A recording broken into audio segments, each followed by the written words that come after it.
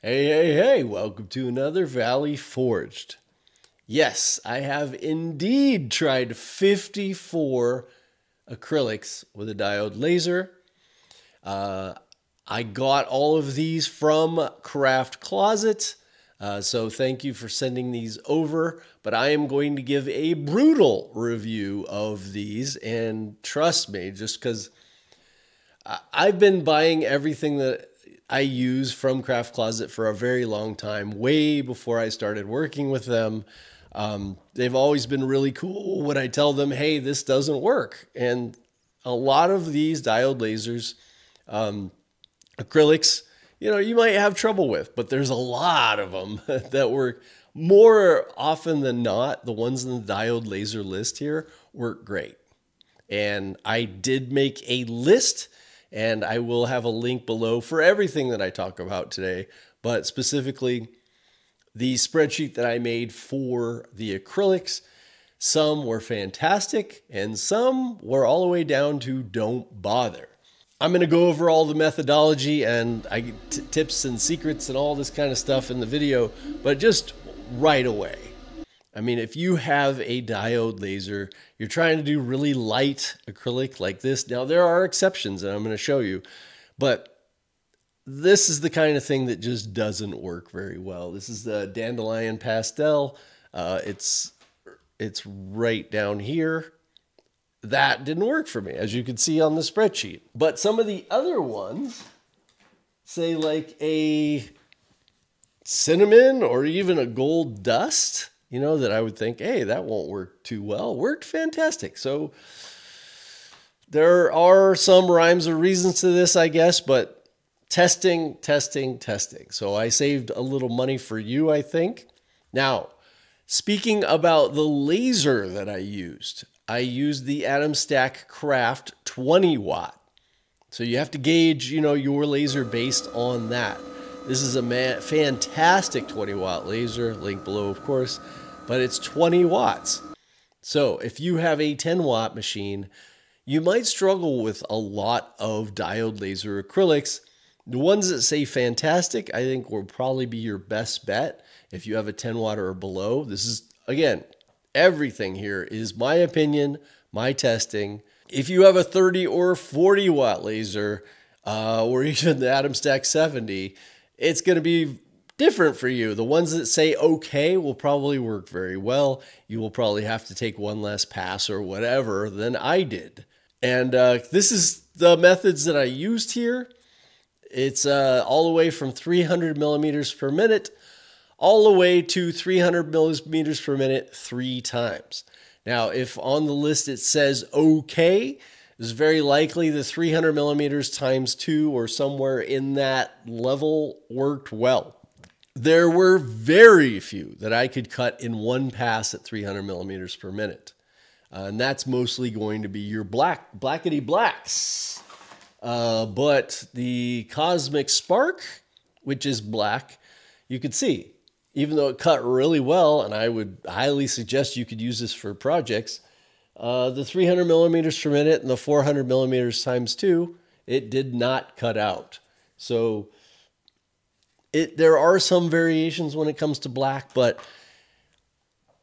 when you buy your laser, or you see laser reviews or anything like that, almost all the time, if it's a diode laser, they're going to test it on black because black cuts the best with a diode laser, and they're trying to show off their machine.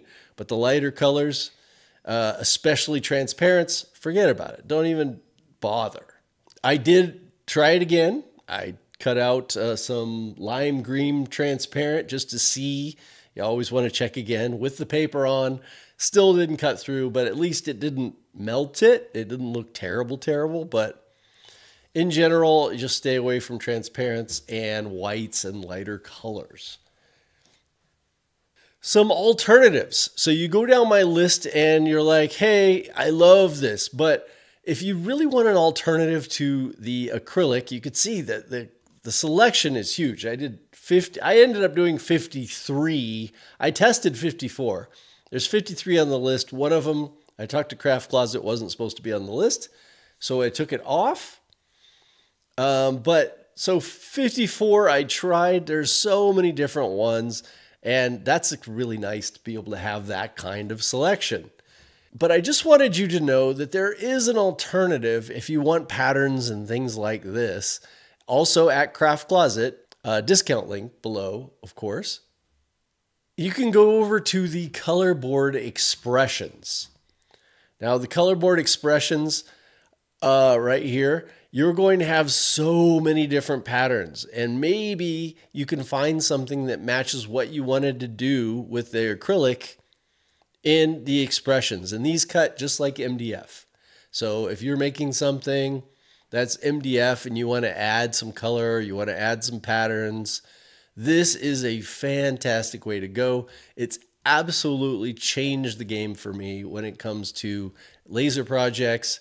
And I have made so much money last year when I started using the color board expressions uh, as you know to add color patterns and different things for my uh, projects. But today we are talking, and of course, with Craft Closet, they have, all of the wood. All this is where I get all my wood, finished wood, unfinished wood, um, and like I said, acrylic and colorboard solids. But today we are talking about the acrylics and some of my favorites, of course, Foxglove. Uh, done it on many, many projects. You've probably seen it on my bottle openers. I've sold every one I've ever done that way. Uh, you know, a surprising one was Aurum, which is a metallic and it is light.